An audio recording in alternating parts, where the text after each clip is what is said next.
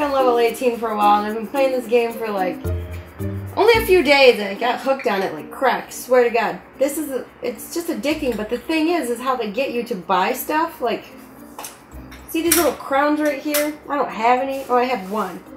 But because this game is all like timed, so if I want to make an item, it can like this item, like a, a cake. It takes an hour or real time before it bakes. So by the time you grow all the ingredients you need, it's an hour. So they then they try to get you to put these little crowns so you could speed up the time by buying these crowns. So if you get impatient, you can go into the store and purchase one of their great deals. So you can buy an imaginary crown that really doesn't do anything but speed up the time on the on the gameplay. So for ten dollars you get two hundred and forty crowns. But if you want to buy this dragon, there's a dragon in here. And it's kind of a ripoff. I'll show it to you.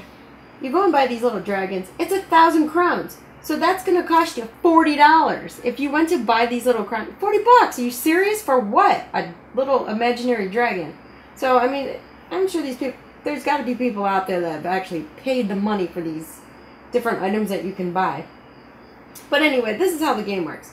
So you get these apple trees and a lemon tree and you, you pull over the water, and then how they're just going to grow. And it only takes 30 seconds for an apple. But if I want to do that for a lemon, it takes nine hours. I think actually it takes 10 hours.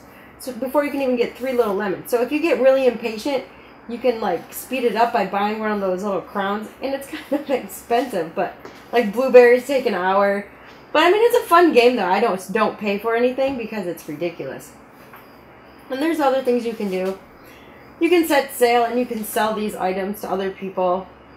And you can go in and you can buy items. So you can barter which is kind of fun because you can do it online and you can do it through facebook i believe.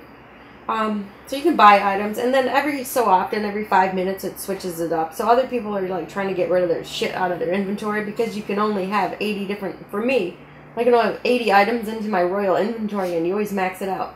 So anyways this is where you buy and sell some of the stuff I can't buy because I'm not in a, enough of a level, high enough level to buy stuff, so it does me no good anyways.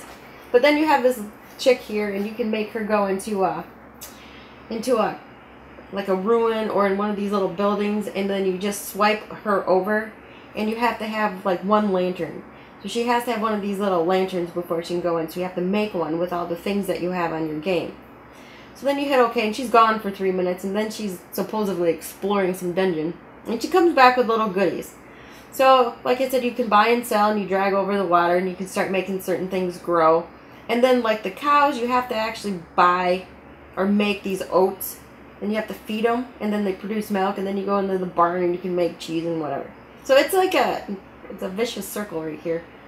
So yeah, that's the game. And then once you make all these items, like you can sell them. Once you grow the honey, you sell them, and then you get points for them. And then each level, you have to have so many points, and then you you get to move on. So that's pretty much the game of Castleville Legends, and it's a pretty fun game. It's very addicting, but it's time consuming. So you'll play it, and then you have to just put it down for like six hours until everything kind of catches up. But it's really fun, and I do like it a lot. Got, the graphics are awesome. The color's great, and you know it doesn't have any glitches in it, which is really cool. So Alright, if anybody uh, plays Castle so, Legend, you definitely know how I feel right now, waiting. So yeah, you can get it on the app stores for Kindle Fire, so it goes for Android, and you can get it um, for your your iPhones. So it's it's you can get it for iPhones and for Android. So so it's pretty fun. Alright, so that's my view on uh, my new crack addiction of Castleville Legends. And if you are interested in playing this game or have any questions or want any tips, uh, leave a comment. Uh, you can check me out on Facebook, Twitter,